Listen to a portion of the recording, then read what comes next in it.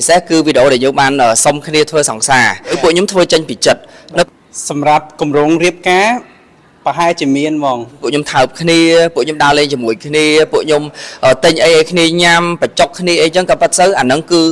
វាមិនមែនជាការសម្ដែងទេអាចប្រាប់ថាអឺវាជាក្តីស្រឡាញ់មួយដែលពួកយើងនិយាយគ្នាថាអូខេយើងចង់ធ្វើអញ្ចេះធ្វើអញ្ចេះអញ្ចឹងណាខ្ញុំជ្រើសរើសមនុស្សត្រូវសាត្រាបានធ្វើជាទូសឆន្ទៈ ថ្មីមួយហ្មងថ្មីសាឡាងហ្មងរបស់ផលិតផលរបស់ Lindo ទាំងពីរប្រភេទហ្មងប្រាប់បងថាមិនមែនគាត់ជ្រើសខ្ញុំទេប៉ុន្តែខ្ញុំជ្រើសរើសគាត់ហេតុទេបាទខ្ញុំស្រីមូអាចមើលសញ្ញាកុងត្រែជំនួសគាត់បានហេតុតែបងស្រីអូនគាត់យកសត្រាមកធ្វើជា BA កាហ្វេ Lindo Fiber Lindo ឈុតសម្រក់គីឡូដោយសារសត្រាគាត់បានស្រក់គីឡូដោយសារគាត់ប្រើកាហ្វេ Lindo Fiber Lindo នេះ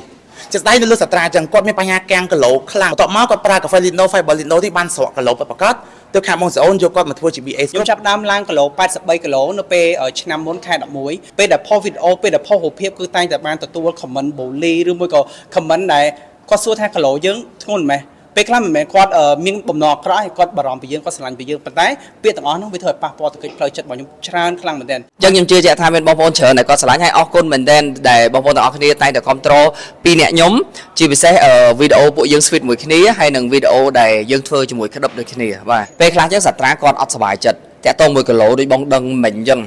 មកហឹកមុនប្រហែលជាកន្លះឆ្នាំមុនគឺនៅពេលដែលយើងឲ្យគាត់ដើរតួជាប្រុសស្អាតឬក៏យើងឲ្យគាត់ដើរតួតាក់តងជាមួយនឹងគីឡូឬក៏គឺការសម្រក់ឬក៏ការឡើងអញ្ចឹងពិបាកឲ្យគាត់ធ្វើហើយគាត់គឺជាមនុស្សម្នាក់ដែលនៅពីក្រោយការជោគជ័យរបស់ខ្ញុំប៉ុន្តែអឺសំណាងត្រូវ តែខ្ញុំគិតថាមកពីមានមនុស្សខ្លាំងនៅពីក្រោយខ្នងបាទទាំងអស់នេះគ្រាន់តែជាផ្នែកខ្លះៗនៃវីដេអូរបស់យើងតែប៉ុណ្ណោះដូច្នេះចង់ដឹងថាតើនៅវគ្គបន្ទាប់ផ្ទះតារានឹងលាតត្រដាងពីស្នេហាភេទដូចគ្នារបស់តួអង្គទាំងពីរស៊ីជម្រៅកម្រិតណាក៏ដូចជាចង់ដឹងថាតើវីដេអូរបស់យើងនឹងបង្ហាញពីខ្លឹមសារសំខាន់ៗអ្វីខ្លះពាក់ព័ន្ធជាមួយនឹងជំនួបដ៏សំខាន់មួយនេះបាទសូមទស្សនាជាមួយនឹងវីដេអូរបស់យើងជាបន្តផ្ទះតារាព័ត៌មានស៊ីជម្រៅនិងច្បាស់លាស់ សម្រាប់គម្រោងរៀបការប្រហែលជាមានហ្មងនោះម៉ាក់សាត្រានៅក្រោយហ្មងហើយខ្ញុំខ្ញុំសប្បាយចិត្តមួយដែលខ្ញុំជ្រើសរើសសាត្រាក្នុងរយៈពេល2ឆ្នាំនេះគឺខ្ញុំមានអារម្មណ៍ថាខ្ញុំជ្រើសរើសមនុស្សត្រូវសម្រាប់ទឹកចិត្តខ្ញុំនៅក្នុងថ្ងៃនេះសាត្រាបានធ្វើជាទូសឆន្ទៈថ្មីមួយហ្មងថ្មីសាឡាងហ្មងរបស់ផលិតផលរបស់ Lindo ទាំងពីរប្រភេទហ្មងប្រាប់បងថាមិនមែនគាត់ជ្រើសខ្ញុំទេប៉ុន្តែខ្ញុំជ្រើសរើសគាត់ដោយសារតែខ្ញុំជាអ្នកប្រើប្រាស់ផលិតផលគាត់ ហើយចាស្ដីសួរថាទេបាទខ្ញុំស្រីមូអាចមើលសញ្ញាកុងត្រែជំនួសគាត់បានដោយសារតែអាចនិយាយថាខ្ញុំគឺជាមនុស្សម្នាក់ដែលខ្ញុំបានប្រើកាហ្វេ Lindo Fiber Lindo សក់គីឡូបានមុនគេហេតុតែបងស្រីអូនគាត់យកសត្រាមកធ្វើជា BA កាហ្វេ Lindo Fiber Lindo ឈុតសម្រក់គីឡូដោយសារសត្រាគាត់បានសក់គីឡូដោយសារគាត់ប្រើកាហ្វេ Lindo Fiber Lindo នេះ ដោយសារតែទស្សនវិស័យរបស់ក្រុមហ៊ុនបងសេអូនមួយគឺគាត់ផ្ដោតទៅលើគុណភាពជាចម្បងគាត់កាន់គុណចំហមួយរកស៊ីអត់ខុសបោកប្រាក់អតិថិជនទេអញ្ចឹង BA ណាតម្រាំចឹងណាតម្រាំយក BA មកផ្សាយផលមួយហ្នឹងលុះត្រាតែគាត់ប្រើផលហ្នឹងឃើញផលប្រកបសិទ្ធជាស្ដីនៅលើសត្រាអញ្ចឹងគាត់មានបញ្ហាកាំងគីឡូខ្លាំងបន្ទាប់មកគាត់ប្រើកាហ្វេ Lindo Fiber Lindo នេះបានស្រក់គីឡូប្រកបទៅខាងបងសេអូនយកគាត់មកធ្វើជា BA ក្រុមហ៊ុនបងសេអូនគឺផ្ដោតសំខាន់បំផុតទៅលើគុណភាព ចាយកអរ៉ូស៊ីបោកប្រាស់ទៅនោះចាជនទេចាបើសិនយើងយកអ្នកគាត់មានគីឡូស្គមស្គមស្រាប់មកធ្វើជា BA កាហ្វេស្រក់គីឡូអាចថាកុហកបោកប្រាស់គេអញ្ចឹងហើយទៅក្រុមហ៊ុនបងស្អូនយើងរកអ្នកដែលគាត់មានបញ្ហាគីឡូថតថតលើលើសយើងយកគាត់ធ្វើជា BA នៅពេលគាត់ប្រើស្រកយើងផ្សាយទៅស្មើយើងធ្វើទីផ្សារបែបថ្លៃថ្នូរចាហើយជាស្ដីយើងមានផតតាំងត្រឹមត្រូវសត្រាគឺគាត់ឡើងគីឡូខ្លាំងមែនទែនហើយ fan របស់គាត់ដឹងច្រើនថាគាត់ធ្លាប់ជាប្រុសស្អាតខ្លាំងហៀគាត់ទូចអញ្ចឹងណាចាហើយបន្ទាប់មករយៈក្រោយមុននេះគាត់ឡើងគីឡូខ្លាំងមែនទែន ឡើងគាត់ចើចង់ថាបញ្ហា depression គាត់ពិបាកចិត្តទៅមិនគាត់ស្រក់គីឡូណាគាត់យំផងអីផងប៉ុន្តែគាត់ក៏បានមកប្រើប្រាស់កាហ្វេ Lindo Fiber Lindo ស្រក់គីឡូទៅខាងខ្ញុំយកគាត់ធ្វើជា BA អឺមូលហេតុតែខ្ញុំមកសញ្ញាកុងត្រាជំនួសបងស្អូនដោយសារតែចេះបងបងស្អូនគាត់ជាចឹងថារៀគាត់មិនធាត់ទេចារៀគាត់ទូចស្អាតចឹងទៅអញ្ចឹងបងប្អូនខ្លះគាត់អាចនិយាយថាអញ្ចឹងម្ចាស់ brand លក់ឈុតសម្រក់អីម្ចាស់ brand ស្គមស្រាប់ហ្នឹង ចាចឹងឥឡូវនេះបងស្អូនគាត់កំពុងតែដំឡើងគីឡូគាត់ឲ្យគាត់ឡើងគីឡូខ្លាំងដើម្បីគាត់ធាត់ទៅគាត់វិលត្រឡប់មកប្រើប្រាស់ប្រផលរបស់គាត់ឲ្យស្រក់គីឡូវិញចាហើយចាស្ដីសួរថាទេបាទខ្ញុំស្រីមូអាចមកសញ្ញាកុងត្រែជំនួសគាត់បានដោយសារតែអាចនិយាយថាខ្ញុំគឺជាមនុស្សម្នាក់ដែលខ្ញុំបានប្រើកាហ្វេ Lindo Fiber Lindo ស្រក់គីឡូបានមុនគេ ហើយចង់ប្រាប់បងថាមិនមែនគាត់ជ្រើសខ្ញុំទេប៉ុន្តែខ្ញុំជ្រើសរើសគាត់ដោយសារតែខ្ញុំជាអ្នកប្រើប្រាស់ផលិតផលគាត់មុនគេដោយសារតែខ្ញុំស្គាល់ម៉ូគឺជាមិត្តភ័ក្តិនឹងគ្នារាប់ឆ្នាំហើយបងអញ្ចឹងខ្ញុំចាប់ផ្ដើមឃើញគាត់ស្រក់គីឡូស្រក់គីឡូច្រើនមែនទែនហើយខ្ញុំមានបញ្ហាគាំងគីឡូនោះយូរហើយបងខ្ញុំចាប់ផ្ដើមឡើងគីឡូ83គីឡូនៅពេលឆ្នាំមុនខែ11ពេលដែលផុសវីដេអូពេលដែលផុសរូបភាពគឺតែងតែបានទទួល comment bully ឬមួយក៏ comment ដែលគាត់សួរថាគីឡូយើងធ្ងន់មែន ពេលខ្លះមិនមែនគាត់អឺមានបំណងអាក្រក់ទេគាត់បារម្ភពីយើងគាត់ស្រឡាញ់ពីយើងប៉ុន្តែពាក្យទាំងអស់នោះវាធ្វើឲ្យប៉ះពាល់ទៅកិច្ចផ្លូវចិត្តរបស់ខ្ញុំច្រើនខ្លាំងមែនទែនបាទសម្រាប់ថ្ងៃនេះផ្ទាល់គឺជាថ្ងៃពិសេសហើយក៏ខ្ញុំរំភើបអត់នឹកស្មានថាខ្លួនឯងមានថ្ងៃនេះបងដោយសារតែថ្ងៃនេះគឺខ្ញុំជា BA ក្នុងក្រុមហ៊ុនសម្រាប់ធម្មជាតិខ្ញុំកាន់ផលិតផល Lindo មានដូចជា Lindo Cafe ក៏ដូចជា Lindo Fiber មកខ្ញុំប្រើប្រាស់ផលិតផល Lindo ប្រហែលចូលចិត្តមួយខែកន្លះហើយបងហើយយើងទទួលបានផលប៉ិតប៉ិតដែលខ្ញុំស្រក2គីឡូចិត្ត80គីឡូមកដល់ឥឡូវនេះគឺ68.8គីឡូបងនិយាយទៅសម្រាប់ផលិតផលសម្រក់គឺភាគច្រើនខ្ញុំអត់ហ៊ានប្រើប្រាស់ហើយបងដោយសារតែយើងញ៉ាំចូលខ្លួនលេបចូលខ្លួនហើយទី1គឺខ្ញុំអត់គិតថាបានផល ប៉ុន្តែសម្រាប់នេះគឺខ្ញុំហ៊ានប្រើដោយសារតែទី1គឺខ្ញុំឃើញមិត្តភក្តិរបស់ខ្ញុំគាត់ស្រកគីឡូហើយផលិតផលរបស់បងអូនគឺជាផលិតផលមួយដែលមានក្រេឌីតក៏ដូចជាប៉ារបស់បងអូនក៏ប្រើប្រាស់ជាមួយនឹងឈុត Lindo នេះផ្ទាល់ដែរសម្រាប់ខ្ញុំផ្ទាល់គឺខ្ញុំប្រើប្រាស់ប្រចាំថ្ងៃហ្នឹងគឺមាន fiber ជាមួយនឹងកាហ្វេអញ្ចឹង fiber ខ្ញុំតែងតែញ៉ាំជារៀងរាល់យប់ពេលយប់មុនចូលគេងដែលជួយឲ្យខ្ញុំបន្ទោបង់អស់ហើយនឹងជួយដុតជាតិខ្លាញ់របស់ខ្ញុំទី2គឺព្រឹកឡើងមុននឹងចេញពីផ្ទះគឺខ្ញុំញ៉ាំជាមួយនឹងកាហ្វេ Lindo មកកញ្ចប់និយាយទៅគឺជួយទប់អាហារចំណង់អាហាររបស់យើងបានច្រើនខ្លាំងមែនទែនហើយជាពិសេសគឺជួយកាត់កុំឲ្យយើងឃ្លានរបស់ផ្អែមផ្អែមជាតិស្ករហ្នឹងហើយបើសិនជាពេលថ្ងៃឬមួយក៏ពេលល្ងាចខ្ញុំឃ្លានគឺខ្ញុំនឹងញ៉ាំកញ្ចប់ទៀតដោយសារតែយើងមនុស្សដែលធ្លាប់ញ៉ាំយើងទម្លាប់ញ៉ាំអាហារអញ្ចឹងនៅពេលដែលយើងកាត់ភ្លាមភ្លាមវាធ្វើឲ្យយើងធីងថងតិចតួចមកឃ្លានតិចតួចប៉ុន្តែ3 4ថ្ងៃឡើងទៅគឺអត់មានបញ្ហាអីបងគឺខ្ញុំអាចបំពេញការងារបានធម្មតាមានផលរំខានអីទាំងអស់ នេះគីឡូដែលបងឃើញនេះគឺនៅពេលដែលខ្ញុំឡើងខ្លាំងគឺ83គីឡូហើយអំឡុងចូលដល់ពាក់កណ្ដាលខែ6ក៏ខ្ញុំនៅតែមានគីឡូ78ដែរបងគោលដៅរបស់ខ្ញុំគឺបន្តសម្រក់រហូតដល់65គីឡូក៏បិទមានបងប្អូនច្រើនដែលគាត់បានមើលវីដេអូខ្ញុំមួយសាត្រាហើយអឺទាំងក្នុងសាច់រឿងទាំងវីដេអូផ្សេងផ្សេងនៅក្នុងការផ្សាយផលិតផលជាពិសេសគឺវីដេអូដែលយើងបានសុំគ្នាធ្វើសង្សារហើយខ្ញុំជឿជាក់ថាមានបងប្អូនច្រើនដែលគាត់ចង់ដឹងហើយខ្ញុំអត់ដែរប្រាប់ថាតើខ្ញុំមួយសាត្រាតំណាក់តំណងនៅក្រៃសិល្បៈយ៉ាងម៉េចទេប៉ុន្តែអាចនិយាយបានថាបើសិនជាក្នុងសិល្បៈដូចបងប្អូនឃើញទាំងអស់គ្នាអញ្ចឹងថាតើបងប្អូនឃើញមិនគឺវាទៅជាអញ្ចឹងខ្ញុំមិនមាននិយាយហងគាត់និយាយអីក៏ត្រូវនិយាយទៅខ្ញុំតាមគាត់អឺសម្រាប់ខ្ញុំគឺ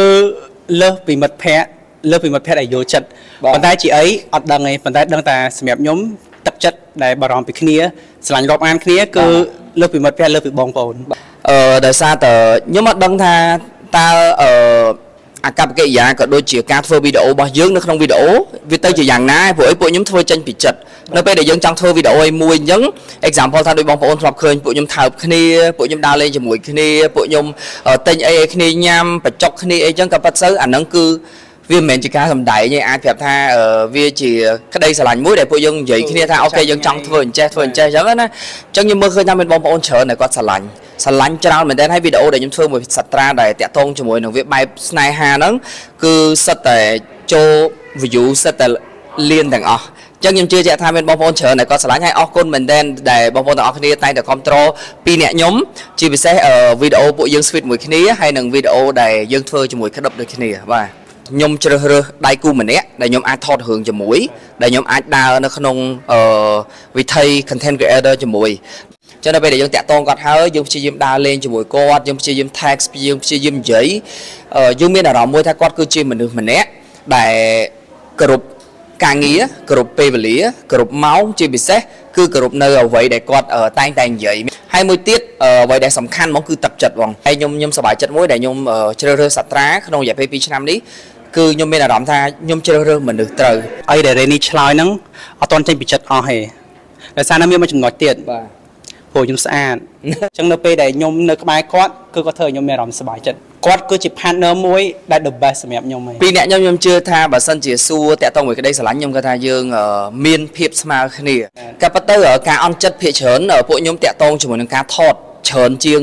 រឿងផ្ទាល់ខ្លួនបាទដោយសារតែបើសិនជារឿងផ្ទាល់ខ្លួនវិញពួកយើងភាកច្រើនគឺយើងយល់ចិត្តគ្នាច្រើនដើរទៅមុខជាមួយគ្នាគឺមានន័យថាយើងញ៉ាំយើងចិត្តមួយចង់ញ៉ាំអីគឺយើងញ៉ាំនឹងយើងទៅដើរលេងណាគឺយើងទៅនឹង